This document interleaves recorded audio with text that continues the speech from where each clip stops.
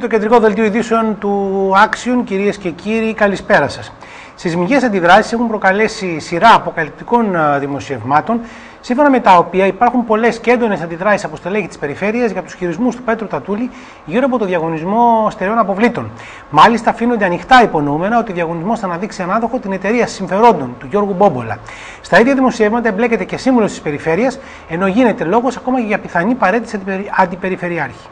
ΣΥΤ η Περιφέρεια Πελοποννήσου και προσωπικά ο Περιφερειάρχης Πέτρος Δατούλης μετά από μια σειρά δημοσιευμάτων σε διάφορα μέσα ενημέρωσης blogs που αφορούν στο διαγωνισμό στερεών αποβλήτων. Αρκετά από αυτά τα δημοσιεύματα κάνουν λόγο για έντονες αντιδράσεις στην Τρίπολη από συνεργάτες του κ. Τατούλη αναφορικά με χειρισμούς του ίδιου και με σκοπό, όπως λέγεται και αφού να εννοηθεί, να γίνει ανάδοχος του μεγάλου αυτού έργου η εταιρεία του κ. Γιώργου Μπόμπολα.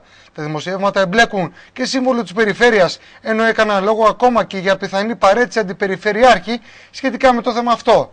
Αυτό που φαίνεται μάλλον καθαρά είναι ότι υπάρχει αρκετός θόρυβος και έντονη κινητικότητα και ότι ανοίγουν μέτωπα. Στο επίκεντρο αυτής της κριτικής είναι για ακόμη μια φορά ο Περιφερειάρχης για τις επιλογές του, τους συνεργάτες και τους χειρισμούς του στην όλη υπόθεση. Κάτι που σημαίνει ότι προσωπικά ο κ. Πέτρος Τατούλη πρέπει τις αμέσως επόμενες ώρες να πάρει θέση και να προχωρήσει σε διευκρινήσεις, ίσως και να κάνει τις ανάλογες κινήσεις. Γιατί ακούγονται πολλά, τα ερωτήματα είναι καυτά και πρέπει να απαντηθούν. Φυσικά εμείς δεν υιοθετούμε εκ των προτέρων κάτι από όσα αναφέρθηκαν και τα οποία είναι όντως πολύ σοβαρά. Απλά παραθέτουμε όσα δημοσιεύτηκαν και αναμένουμε τις εξελίξεις αλλά και τις τοποθετήσεις των καθήλων αρμοδίων. Στην Κόρινθο βρέθηκε σήμερα το πρωί ο Γενικός Γραμματέας των Ανεξάρτητων Ελλήνων Σπύρος Γαλινός. Ο κ. Γαλινός επισκέφθηκε το νοσοκομείο της Κορίνθου και μιλώντας στους εργαζόμενους ανέφερε ότι η μνημονιακή πολιτική που ακολουθείται έχει σκοπό να ικανοποιήσει τους ανθρώπους και να βλάψει τους αριθμούς. Στον κύριο Γαλινό κατατέθηκε υπόμνημα με τα αιτήματα των εργαζομένων από τον πρόεδρο του Σωματείου του νοσοκομείου Λουκά Θαδωρόπουλο. Την Κόρυθο επισκέφθηκε σήμερα το πρωί ο Γενικός Γραμματέας των Ανεξάρτητων Ελλήνων Σπύρος Γαλινός με πρώτο σταθμό το Γενικό Νοσοκομείο Κορίνθου. Ο κ. Γαλινός ανέφερε ότι και στο νοσοκομείο Κορίνθου ακολουθείται μια μνημονιακή πολιτική που σκοπό έχει τα νούμερα και όχι το προσωπικό.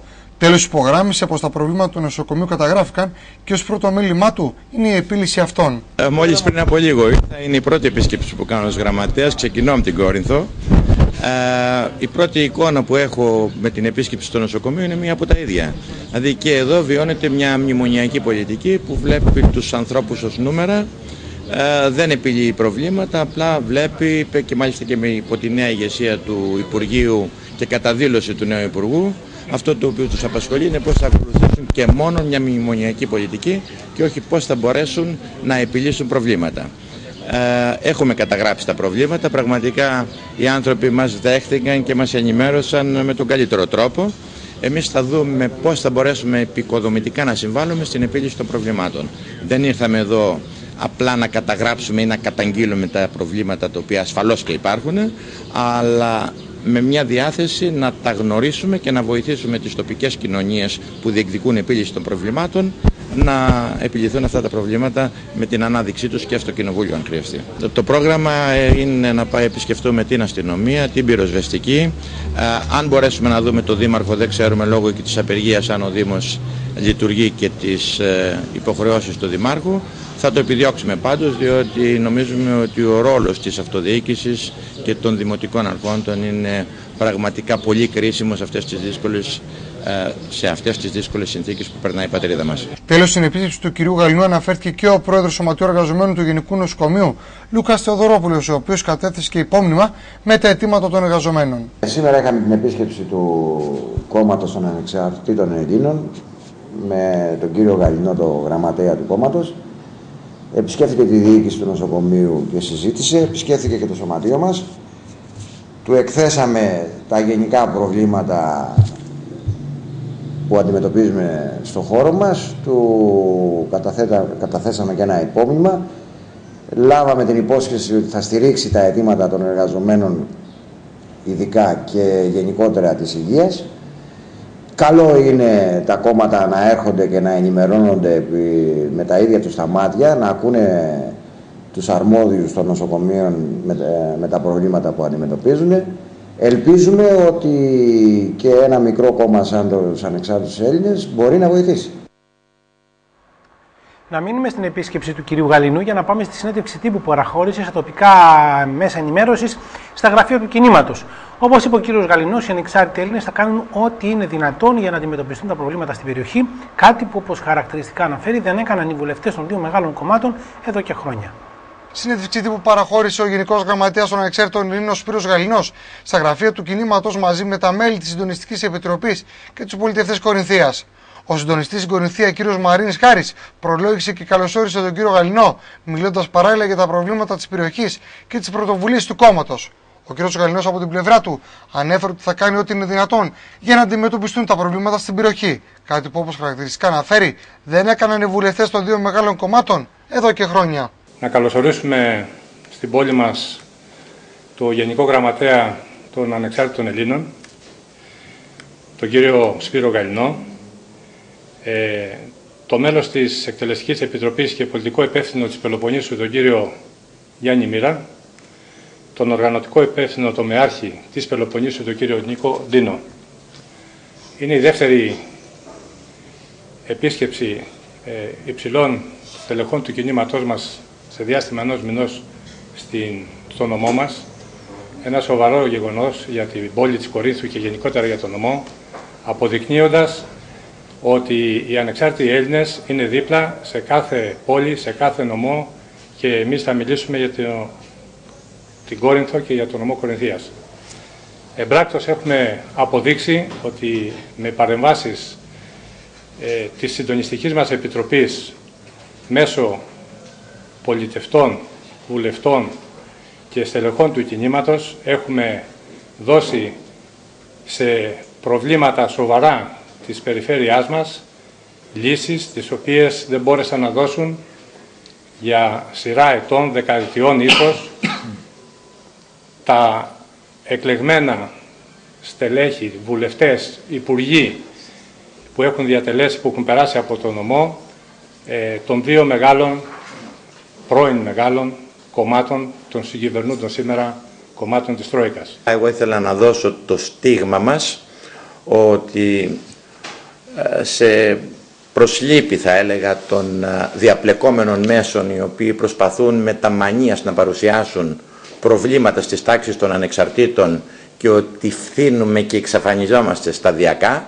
μην παρουσιάζοντας τις θέσεις, μην παρουσιάζοντάς μας στις περισσότερες των εκπομπών τους. Εμείς είμαστε όχι απλά ζωντανοί, αλλά είμαστε δυνατοί, δυναμώνουμε κάθε μέρα και περισσότερο. Θα γυρίσουμε σε όλη την Ελλάδα, θα κάνουμε τον αγώνα μας πόρτα-πόρτα. Θέλουμε να ενημερώσουμε τους πολίτες. Θέλουμε να ξεσηκώσουμε τους πολίτες. Αυτή τη λέλαπα που αντιμετωπίζει η πατρίδα μας πρέπει να την αντιμετωπίσουμε από κοινού. Όλοι μαζί. Ανεξάρτητα από περιχαρακώσεις κομματικές, ανεξάρτητα με το τι πιστεύαμε ως χθες, σήμερα το πρόβλημα είναι πιθανότατα στην πόρτα μας ή στην καλύτερη περίπτωση στη διπλανή πόρτα. Αύριο θα είναι και δικό μας πρόβλημα, να το ξέρετε. Οπότε όλοι μαζί πρέπει να παλέψουμε. Ο αγώνας που δίνουμε είναι εθνικός, δεν είναι κομματικός και σε αυτό το πατριωτικό κάλεσμα που ξεκίνησε πρώτος ο Πάνος ο Καμένος και οι ανεξάρτητοι Έλληνες έχουν θέσει όλοι οι Έλληνες.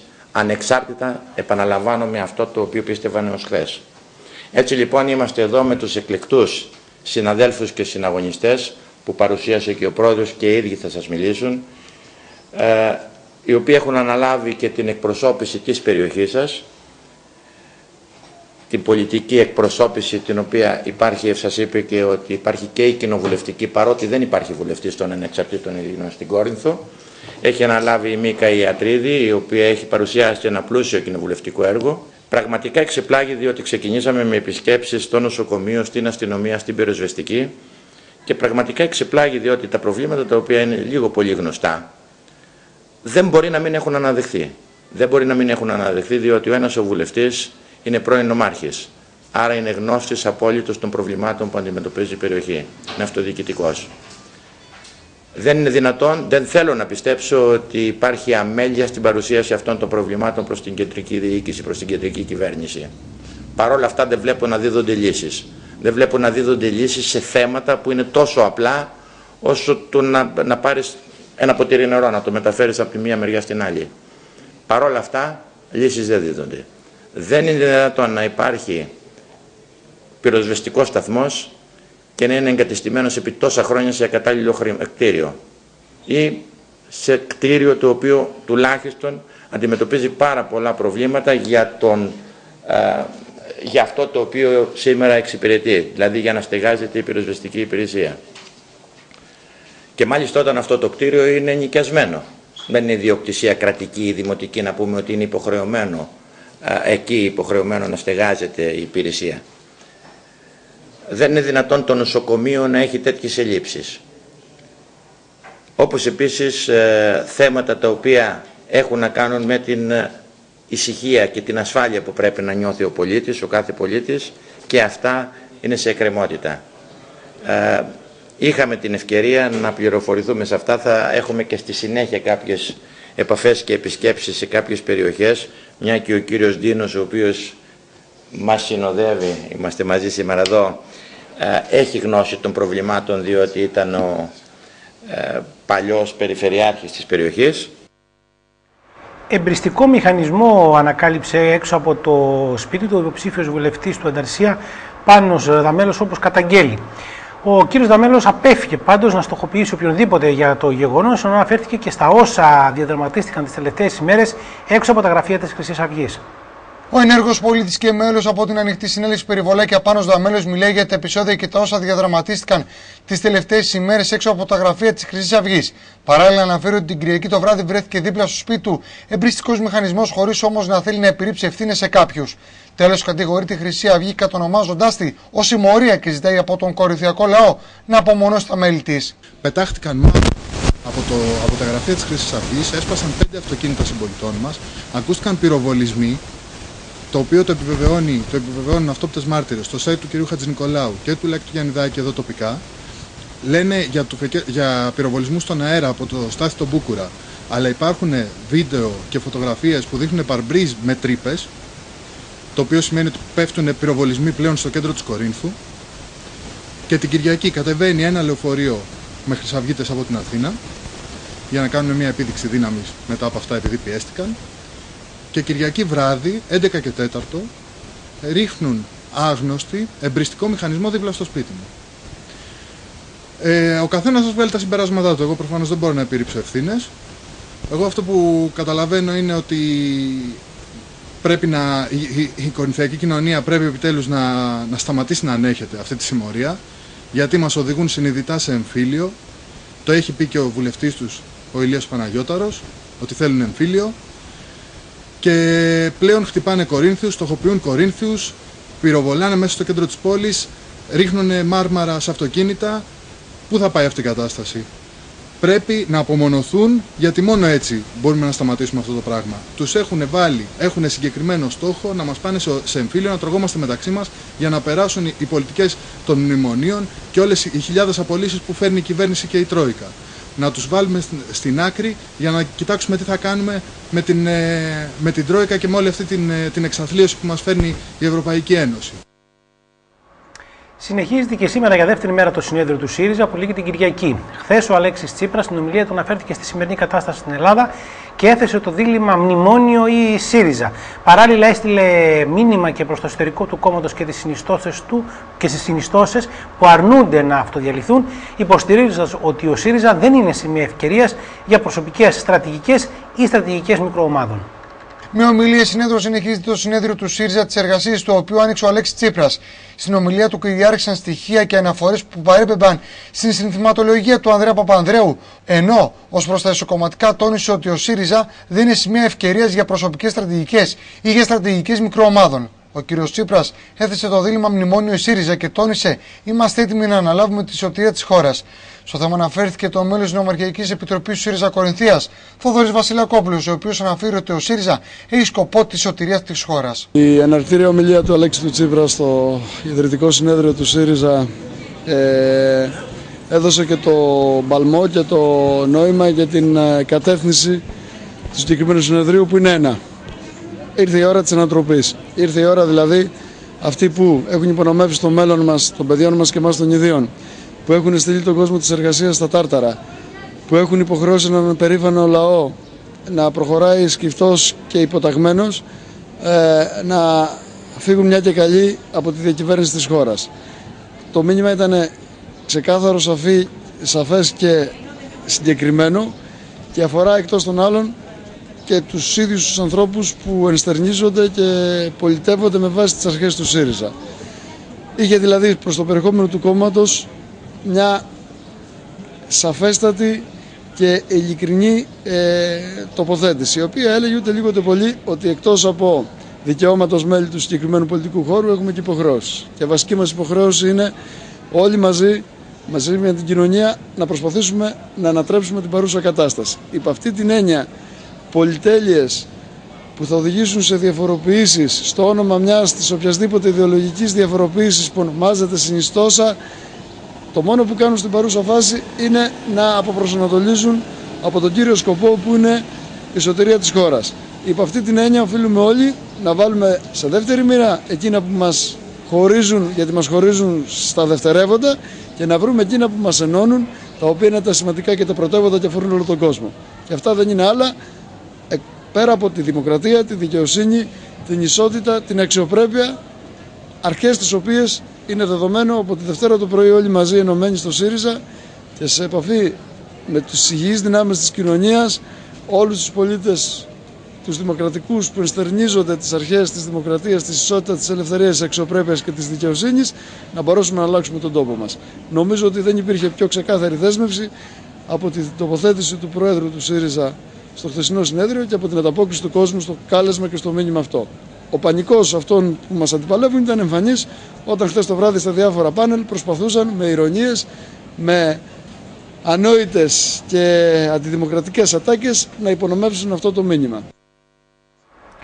24ωρη γενική απεργία οργανώνουν από κοινού ΓΕΣΕ και ΑΔΔ την ερχόμενη Τρίτη. Οι δύο οργανώσεις αντιδρούν στο νέο, στο νέο πολυνομοσχέδιο που κατατέθηκε στη Βουλή και προβλέπει απολύσεις στο δημόσιο. Την πραγματοποίηση 24 ώρε γενικής απεργίας από κοινού με την ΑΔ την 3η 16 Ιουλίου, καθώς και τη συλλαλητήριο διαμαρτυρίας στην πλατεία Κλαθμόνος, αποφάσισε σε έκτακτη συνεδρία η Εκτελεστική Επιτροπή της ΓΕΣΕ αντιδρώντα στο νέο πολυνομοσχέδιο που κατατέθηκε στη Βουλή. Στο θέμα αναφέρθηκε ο πρόεδρος του Εργατικού Κέντρου Κορίνθου, Κώστας Κατέμι, ο οποίος αναφέρει ότι πρέπει να σταματήσει αυτή η καταστροφική πολιτική, γιατί η Ελλάδα θυμίζει τον Τιτανικό. Μόνο που σε αυτή την περίπτωση το πλοίο δεν θα πέσει σε παγόβουνο, αλλά θα βγει στη στεριά. Την 3η 16 Ιουλίου έχει προκηρυχθεί από τη ΓΕΣΕ, την ΑΔΕΒ, τους οργανισμούς τοπικής αυτοδιοίκησης και πολλά άλλα κλαδικά σωματεία της ΕΛΜΕ, γενική πανελλαδική απεργία. Εξαιτίας της ε, ψήφισης του πολυνομοσχεδίου, το οποίο προβλέπεται να γίνει η ψήφισή του μεθαύριο στις 16 του μήνα, η Γενική Συνομοσπονδία πήρε την απόφαση να προκηρύξει γενική πανελλαδική απεργία. Ας αντιληφθούν αυτοί που κυβερνούν ότι έχουν να κάνουν με ανθρώπους, με όνειρα, με ζωές, δεν είναι τα πάντα νούμερα. Δεν είναι όλα νούμερα σε αυτή τη ζωή. Δεν είναι αριθμοί. Δεν μπορεί με μια απλή σκέψη, με μια απλή απόφαση να καταρακώνουν ανθρώπους. Ένα πολυνομοσχέδιο που κατατέθηκε προχτές στη Βουλή και θα έρθει για ψήφιση, περιλαμβάνει το φορολογικό, το νέο τρόπο υπολογισμού του κατώτατου μισθού, αλλά και τις απολύσεις, απομακρύνσεις, γιατί απολύσεις θα είναι, των ε, φυλάκων, δημοτικών φυλάκων αλλά και της Δημοτικής Αστυνομίας, απομακρύνσεις καθηγητών δευτεροβάθμιας εκπαίδευσης. Όλος ο εργατόκοσμος σύσσωμος πρέπει να βρει στους δρόμους. Πρέπει να αναντιωθούμε σε αυτή την πολιτική. Η απαξίωση που μας κάνουν με το μίνι μνημόνιο που πάνε να περάσουν, γιατί περί τέτοιου πρόκειται, θα είναι οδυνηρή. Δεν μπορεί μια ζωή να είμαστε στην άμυνα. Δεν μπορεί να περιχαρακωθούμε και να διασπαστούμε με τη λογική και την προοπτική ότι δεν μας αφορά. Μας αφορά όλους, και τον ιδιωτικό τομέα και το δημόσιο τομέα. Άλλωστε, θέλουμε να πιστεύουμε σαν συνδικαλιστικό κίνημα ότι αυτό θα είναι η απαρχή της γενικευμένης αντιπίθεσης. Γιατί μόνο έτσι θα ανατραπεί αυτή η πολιτική. Να καταλάβουν οι δυο συγκυβερνώντες του Τιτανικού ότι το σκάφος, το σκάφος που λέγεται Ελλάδα, βαδίζει όχι στο παγόβουνο, αλλά θα βγει έξω στη στεριά, βαδίζει στα βράχια. Σε κατάσταση πολέμου είναι πλέον οι εργαζόμενοι στους Δήμους λόγω των εξελίξεων που τους φέρνει στο πρώτο κύμα εργαζομένων που θα αποχωρήσουν από το δημόσιο. Πέρα από την παρουσία τους στην τελευταία συνεδρίαση της ε, ΠΕΔ Πελοποννήσου, της Ένωσης των Δήμων Πελοποννήσου, προετοιμάζουν και άλλες κινητοποιήσεις και στο θέμα αυτό αναφέρεται ο πρόεδρος του Σωματείου Εργαζομένων του Δήμου Κορινθίων, Γιώργος Ρουμελιώτης. Την ορισμένη αντίδραση της ΠΟΕ όταν προκάλεσε η υλοποίηση και τυπικά της ένταξης όλων των υπαλλήλων σε διαθεσιμότητα, όπως όριζε η διευκρινιστική εγκύκλωση που εξέδωσε το Υπουργείο Διοικητικής Μεταρρύθμισης. Στο θέμα αναφέρθηκε ο πρόεδρος Σωματείου Εργαζομένων του Δήμου Κορινθίων, Γιώργος Ζουμελιώτη, ο οποίος ανέφερε ότι θα πραγματοποιηθεί γενική συνέλευση έτσι ώστε να πάρθουν κάποιες καθοριστικές αποφάσεις. Από ό,τι γνωρίζετε, οι ΟΤΑ έχουν μπει στο στόχαστρο, κινητικότητα, διαθεσιμότητα, απολύσεις. Ε, όλα αυτά απασχολούν και το σύλλογό μας, ο οποίος αύριο το απόγευμα έχει γενική συνέλευση για να πάρει τις αποφάσεις του. Οι αποφάσεις πρέπει να είναι από όλα τα μέλη του συλλόγου και δεν μπορούν να πάρθουν από το ΔΣ. Οπότε θα έχουμε νεότερα αύριο απόγευμα τη λειτουργία παράνομων ηλεκτρολογίων και συνεργείων αυτοκινήτων καταγγέλουν ο Σύλλογος των Μηχανολόγων και Επισκευαστών Αυτοκινήτου. Όπως αναφέρει ο πρόεδρος του Συλλόγου, ο κ. Μποζίκης, στα τελευταία διάστημα υπάρχουν πολλές καταγγελίες από πελάτες συγκεκριμένων συνεργείων, οι οποίοι πήγαν τα αυτοκίνητά τους σε αυτούς τους χώρους, οι οποίοι λειτουργούν παράνομα ακόμα και σε αυλές σπιτιών. Να δούμε το ενδιαφέρον, το ενδιαφέρον ρεπορτάζ του Φρέντο TV.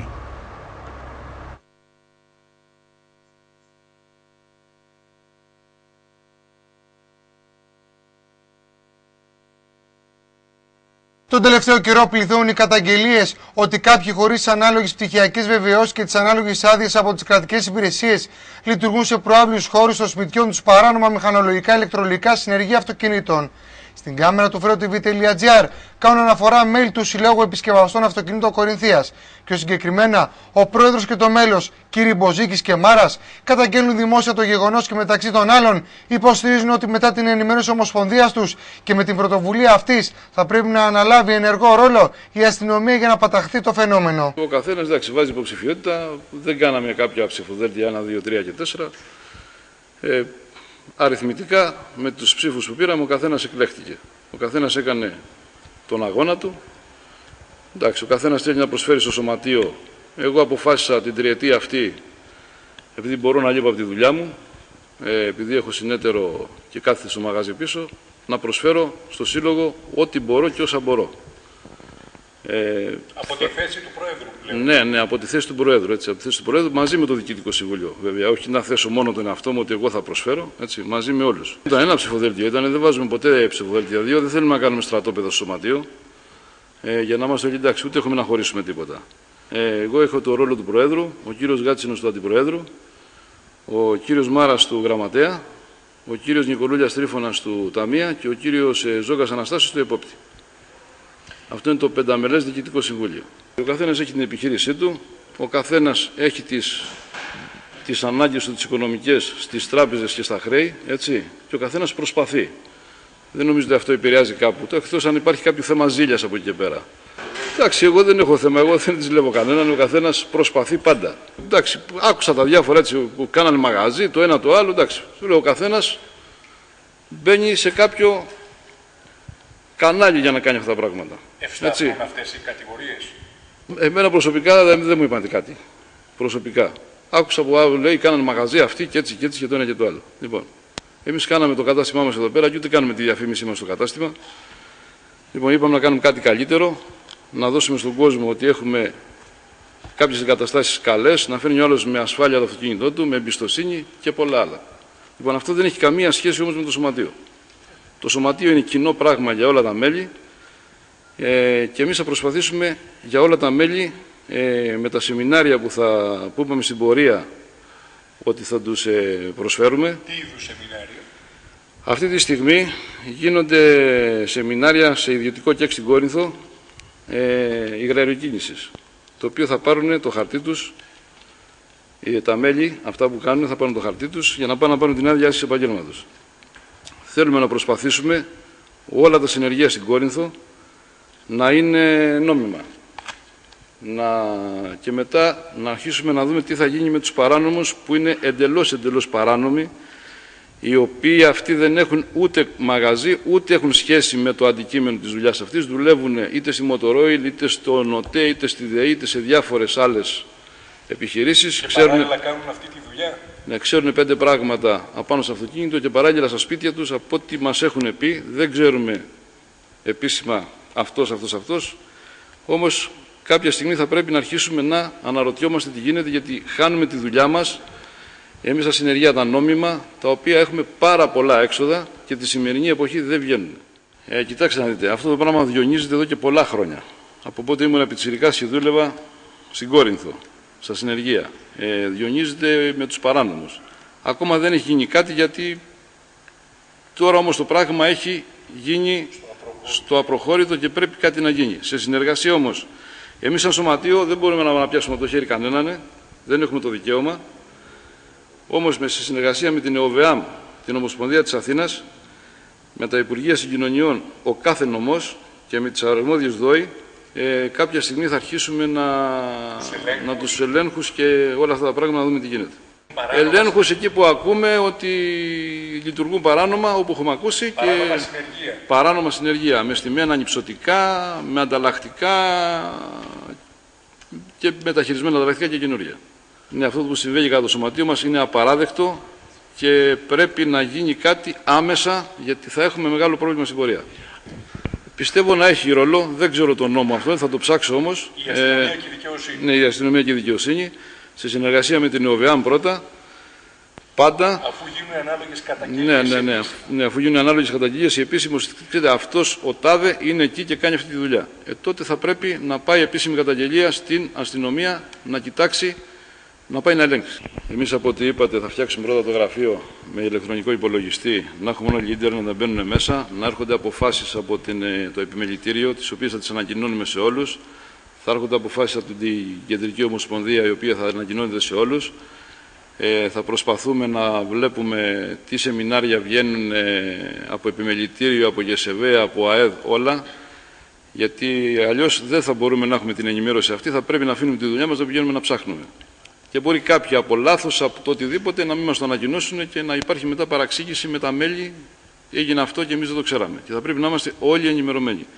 Δεν θα κρατάμε κανένα μυστικό, θα υπάρχουν όλα μέσα στο site του σωματείου, θα, βγάλουμε, θα κάνουμε site και θα μπορεί να μπαίνει ο καθένας να βλέπει τα πάντα. Το Fredo TV το ευχαριστούμε πάρα πολύ και το Action TV που είναι δίπλα μας ε, για να δουλεύουμε τα προβλήματά μας, να τα ανακοινώνει γιατί είμαστε επισκευαστικός κλάδος και μόνο και έχουμε μόνο παροχή υπηρεσιών. Δεν έχουμε την εμπορία, δεν έχουμε τη βοήθεια από πουθενά αλλού και είμαστε ένας κλάδος, πιστεύω, που σε καιρό κρίσης μπορούμε να ανοίξουμε θέσεις εργασίας για κάποιο πιτσιρικά που θέλει να έρθει για δουλειά. Όπως είπε και ο Πρόεδρος, ε, θα οργανώσουμε το γραφείο, θα προσπαθήσουμε να βάλουμε, να το ανοίγουμε το οποίο κάποτε είχαμε πει να τα ανοίγουμε. Συγκεκριμένες ώρες και κάποιες, Ναι, ναι, ναι. Συγκεκριμένες ώρες και ημέρες, να ενημερώνονται οι συναδέλφοι, να τους ενημερώνουν και να, και να ενημερώνονται. Ε, και από εκεί και πέρα το επόμενο βήμα είναι να το οργανώσουμε και με το ίντερνετ, γιατί είναι άμεσα, το πιο άμεσο δίκτυο το οποίο μπορεί να μπει ο καθένας μέσα για να βρει πράγματα και δεν μπορούμε κάθε στιγμή να στους συναδέλφους να τρέχουμε, να τους δίνουμε χαρτιά ή οτιδήποτε, να τους ενημερώνουμε. Οπότε, ο... ναι, γι' αυτό και εμείς αποφασίσαμε όλοι μαζί να το προωθήσουμε. Όλοι έχουν ένα ίντερνετ, όλοι αυτή τη στιγμή θα μπουν κάποια στιγμή μέσα. Ένα ξεκίνημα που κάναμε στις εκλογές ήταν να πάρουμε καινούριες διευθύνσεις, γιατί πολλοί συναδέλφοι έχουν αλλάξει διευθύνσεις, έχουν αλλάξει τηλέφωνα. Είχαμε βάλει μέσα στο ίδιο το φυλάδιο να γράψουν και το email τους. Λοιπόν, όσοι είχαν. Λοιπόν, ε, προσπαθήσαμε και θα προσπαθήσουμε και πάλι να τους ενημερώσουμε και να μας ενημερώσουν για να μπορέσουμε να, να τα οργανώσουμε όλα αυτά. Την ανάδειξη της αρχαίας Οικειώνας επιχειρεί η αρχαιολογική σκαπάνη που ξεκίνησε τις εργασίες της στην περιοχή που υπάρχουν ήδη κάποια ερήπια.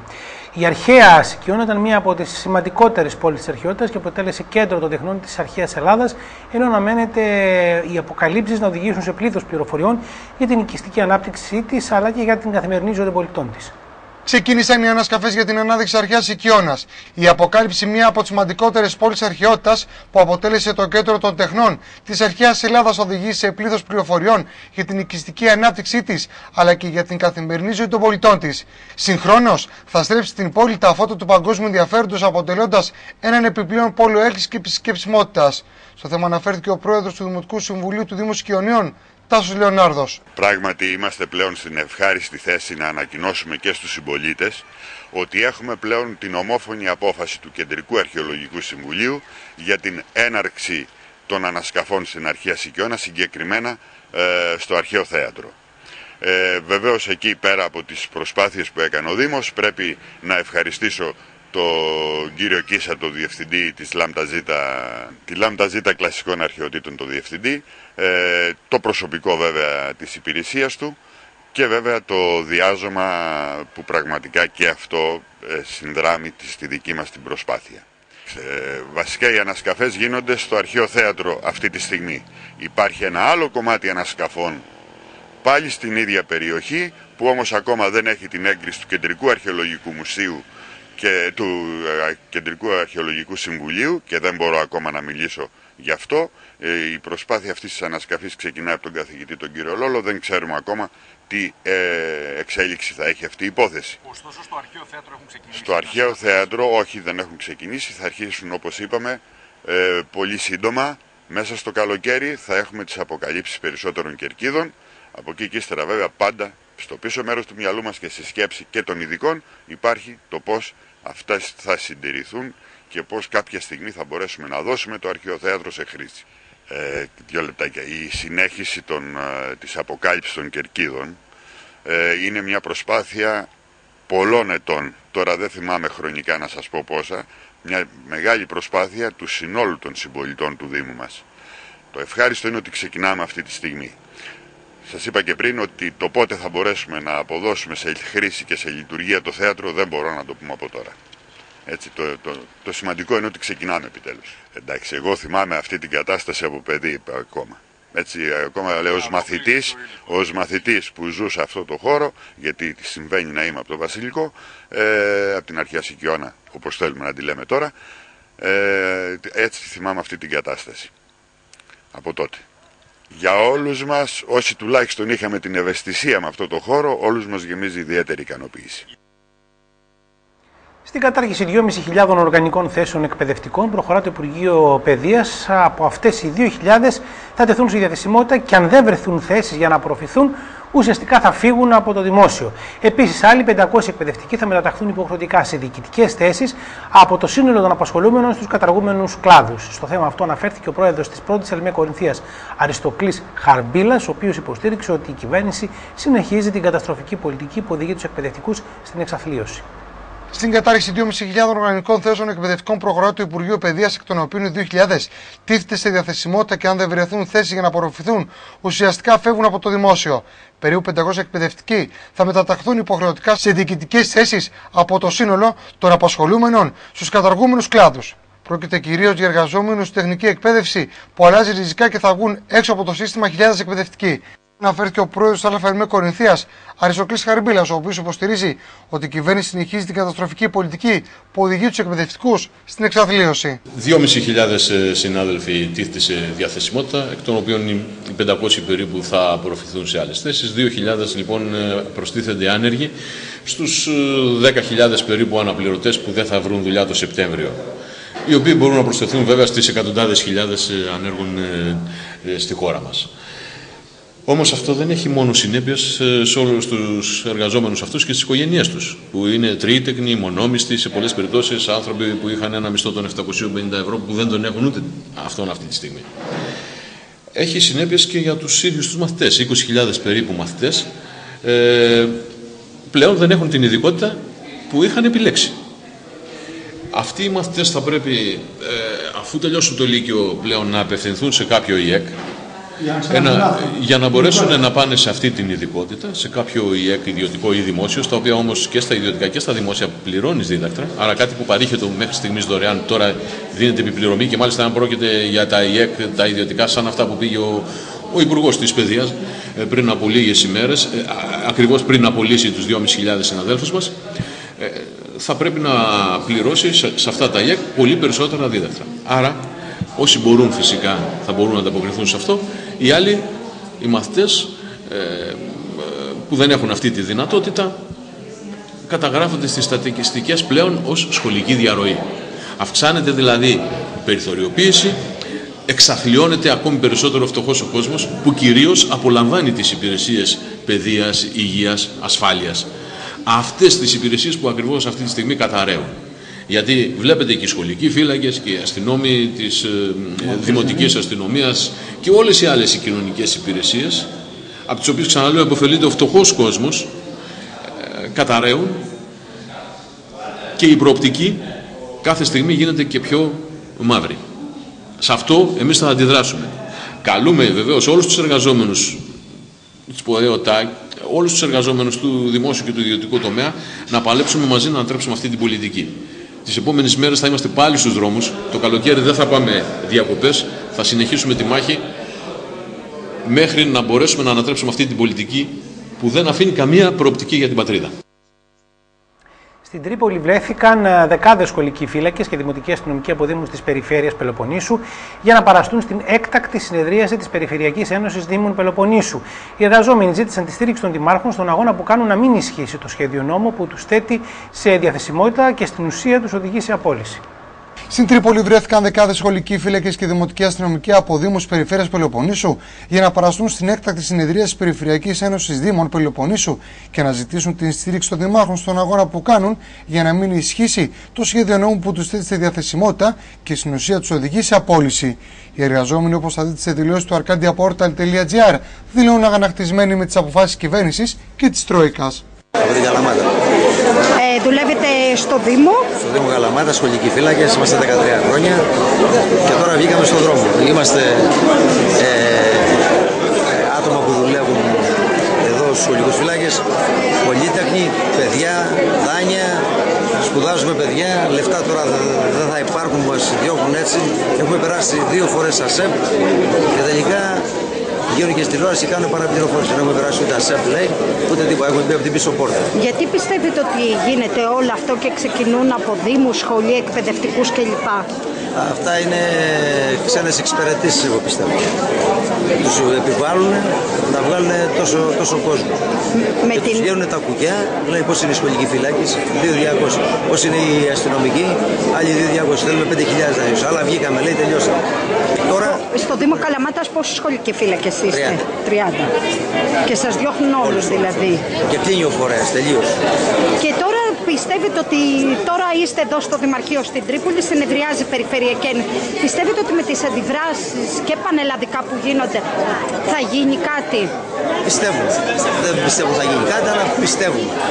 Γιατί η ελπίδα λέει τελειώνει, πεθαίνει τελευταία. Έτσι και εμείς. Τι να σας πω, ότι αισθανόμαστε ένοχοι που κάναμε παιδιά και οικογένειες γιατί αυτή τη στιγμή δεν μπορούμε να ανταπεξέλθουμε οικονομικά να συντηρήσουμε τις οικογένειές μας. Πόσα χρόνια δουλεύετε ως σχολική φύλακας; Είμαστε από το 2001, ξέρετε το πρόγραμμα που υπήρχε το ναι, ναι, ναι. Είμαστε 6 χρόνια ανασφάλιστοι, χωρίς νοσοκομιακή κάλυψη, χωρίς ένσημα, χωρίς να έχουμε ημέρες αρτίας καθόλου παροχές. Το 2007 γίναμε αορίστου χρόνου, το, συγγνώμη, το, τον Ιούλιο του 2006 και αυτή τη στιγμή είμαστε στον δρόμο. Μέχρι την Παρασκευή δουλεύαμε και το Σαββάτο ακούμε ότι σύντομα... Έχετε σταματήσει δηλαδή να εργάζεστε ε, τώρα; Είμαστε απεργοί και σήμερα ναι. είχαμε κατάληψη στα δημοτικά κτίρια της πόλης. Εχθές κάναμε απεργία, τη Δευτέρα ακολουθήσαμε την πορεία στο Υπουργείο Τα λέει συνάδελφος, τα λέει άνθρωπος καλά. Τι ε, πιστεύετε ότι θα καταφέρετε κάτι; Βασίλης Παναγιώτης, ε, είμαι μέλος του Σωματείου Εργαζομένων Νοτάνων Μεσσηνιάς και γραμματέας του Νομαρχιακού Νοήματος της Αδεδής Νομού Μεσσηνιά. Σήμερα λοιπόν εδώ για διαμαρτυρία, πείτε μας λόγους. Ε, εδώ ήρθαμε να διαμαρτυρηθούμε για αυτό το νομοσχέδιο που βγάζει από την εργασία τόσο πολύ κόσμο. Ε, θέλουμε να πείσουμε τους δημάρχους ε, να μας βοηθήσουν να μπορέσουμε να ανατρέψουμε αυτή την κατάσταση, να μην ψηφιστεί, γιατί θα πάει πολύ κόσμο στην ανεργία. Είδαμε το ρεπορτάζ από τη συνεδρία της Περιφερειακής Ένωσης Δήμων Πελοποννήσου. Να πάμε τώρα σε ένα άλλο θέμα που απασχόλησε την συνεδρίαση της ίδιας Επιτροπής. Την ικτρή οικονομική κατάσταση στην οποία έχει περιέλθει η ελληνική αστυνομία αναδεικνύει ένα έγγραφο που δημοσιοποίησε ο Δήμαρχος Επιδάβρου Κώστας Γκάτζιος.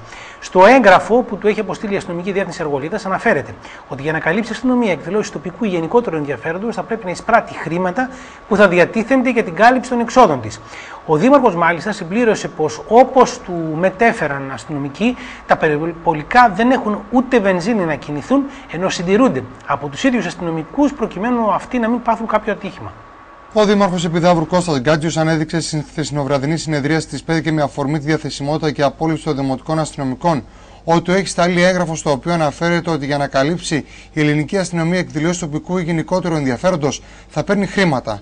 Μάλιστα, ο Δήμαρχος Επιδαύρου σημείωσε ότι στο έγγραφο αναφέρονται και ποσό όπως 50 ευρώ την ώρα για το περιπολικό, 30 ευρώ την ώρα για τον αστυνομικό και ούτω καθεξής. Τα χρήματα θα διατίθεται για την κάλυψη των εξόδων της αστυνομίας αφού η κρατική επιχορήγηση πλέον είναι μηδαμινή και τα περιπολικά δεν έχουν ούτε βενζίνη να κινηθούν, όπως έχει καταγγελθεί πολλές φορές από τους προέδρους των ενώσεων των αστυνομικών, ενώ δεν μπορούν να συντηρήσουν τα αυτοκίνητα για να κάνουν περιπολίες με αποτέλεσμα να βάζουν από την τσέπη τους οι αστυνομικοί για να μην πάθουν ατύχημα. Και σε άλλα καθήκοντα όπου υπάρχει ανάγκη και μάλιστα απογεύματα και ιδιαίτερα όπου έχουμε εκδηλώσεις, γιατί τις εκδηλώσεις πλέον δεν τι καλύπτει η αστυνομία. Και εμένα μου ήρθε ένα χαρτί πριν λίγο καιρό να το πω τώρα ότι ζητάνε 50 ευρώ την ώρα το περιπολικό και 30 ευρώ, δεν ξέρω αν το ξέρετε, εγώ το έχω και το δώσω στα μέσα μαζικής να το έχετε, για να καλύψουν, να καλύψουν εκδηλώσεις και όχι μόνο, όχι εκδηλώσεις τοπικές, αλλά και μεγαλύτερο μεγαλύτερο σε θέσεις μάχης συντάσσονται από τώρα οι εκπαιδευτικοί, όπως είδαμε και νωρίτερα στο ρεπορτάζ με τον πρόεδρο της πρώτης Ελληνικής Κορυφαία εδώ, τον κύριο Χαρμπίλα. Σε θέση μάχη, λοιπόν, συντάσσονται από τώρα εκπαιδευτικοί για... και προειδοποιούν για θερμό φθινόπωρο. Στην τελευταία συνέλευση του Διοικητικού Συμβουλίου της Ελμία Αρκαδίας, ο πρόεδρος της Ένωσης, Λάμπρος Αντωνάκος, τόνισε ότι 2.500 απολύσεις είναι μόνο η αρχή, καθώς οι προβλέψεις του μνημονίου κάνουν λόγο για απολύσεις άλλων 46.000 δημοσίων υπαλλήλων. Οι απολύσεις αυτές θα ανακοινώνονται ανατρίμηνο ή ακόμα και κάθε μήνα, όπως λέει ο πρόεδρος.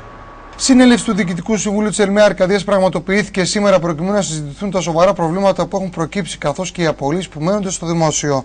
Ο πρόεδρος ΕΛΜΕ Αρκαδίας κ. Λάμπρος Αντωνάκος έκανε λόγο για την άρνηση των μεγάλων καναλιών να δεχτούν την ΟΛΜΕ σε συζητήσεις, το οποίο δείχνει μια μεθόδευση της Τρόικα για να μην υπάρξουν αντιδράσεις.